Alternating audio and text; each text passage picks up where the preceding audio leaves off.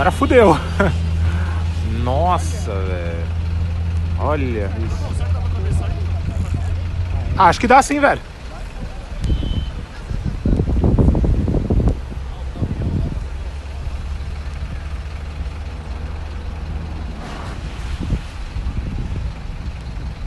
É, tem que ir embora mesmo.